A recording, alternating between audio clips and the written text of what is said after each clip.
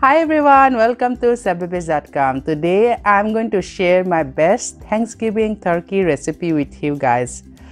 This recipe is so simple and very tasty. I hope you all will like it because uh, every year I cooked this turkey. Every single person, whoever ate it, they liked it and they said it is one of the best and juicy turkey they have ever had.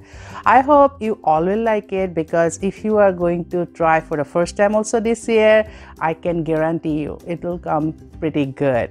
So please, please, please check the recipe in our website chefbabies.com or you can click the link we have provided in the description box please do share our recipes do your valuable comments subscribe to our channel and please give us a thumbs up.